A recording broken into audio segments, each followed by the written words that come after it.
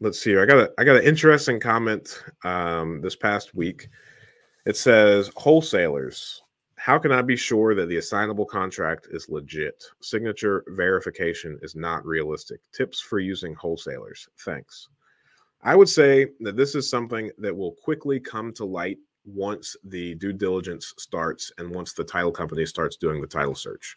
Because the title company uh, is the one that is going to make contact with you, the seller, the wholesaler. Uh, they're gonna they're gonna have to coordinate with every single person involved in the transaction. So the title company doesn't just take the wholesaler's word for it and they don't say, hey, this contract is legit. Let's go ahead and close this entire property without talking to the property owner, right? Uh, that would be a massive red flag in a title company that is going to be very short lived and will go out of business and find themselves in multiple lawsuits very quickly. So the title company is going to do this for you. I would not put any uh, due diligence in trying to verify a whole the whole the contract that a wholesaler presents to you. I think one of the most underrated and under talked about aspects of real estate investing is the importance of title companies in uh, that they play like on the team of any real estate investor. So I have recently turned down two deals because for some reason the sellers were adamant about using a title company that was not my title company. And Ohio, at least, is uh, a kind of a buyer's choice state. So I'm the one paying the title company. I'm the one that gets to make the decision as which title company we use. And the title company is extraordinarily important in not only making sure that the deal that you're doing closes properly. But in the event that any liens or any judgments on the property are missed, then it's the title company and their errors and omissions coverage that's going to pick that up. If you buy a title insurance policy, which you should, we do it on every single one of our properties, then any mechanics liens or judgments that come across uh, for that property after the deed is transferred, becomes the title company's problem, not your problem. So we work extraordinarily closely with our title company.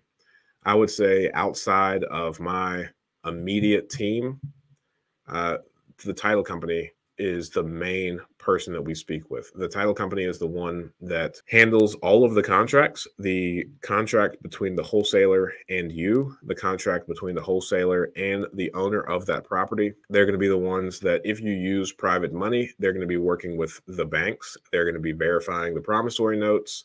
Um, generally, title companies have in house attorneys where those attorneys will draft up uh, the promissory notes if you want them to, and also the mortgages that you need to successfully complete uh, that private money transaction.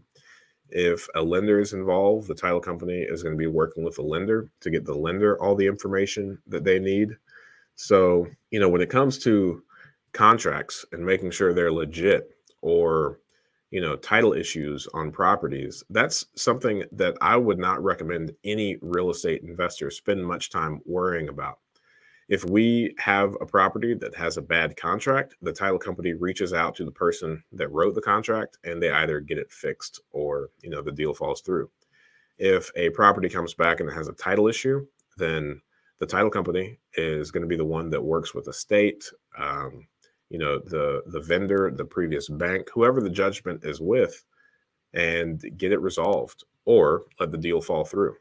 So the title company is definitely going to be the one that has your best interest whenever something like this arises. But i think you would drive all parties bananas if you sit there and try to verify the contract that the wholesaler presents you with and they would definitely frown on you trying to get the information for to the property owner from them because that's how they make their money is being the liaison between the property owner and the potential buyer. So if you were to talk direct to them then in theory you would have the potential to say hey wait let their contract expire and i'll buy it from you at a higher price So I think you would find yourself on the bottom of a wholesaler's list very quickly if you tried to do your due diligence uh, in that manner. Thanks for watching that clip. I thought that was a good question. And I think you can ask good questions too. Join us every Friday morning at 8 a.m. Eastern Standard Time for a live stream Q&A where we answer plenty of questions just like this one. In the meantime, consider subscribing to the channel if you want more of this content. And if you want to increase your deal flow, analyze properties better, and help me feed my family, click the link below for a free seven-day trial of PropStream.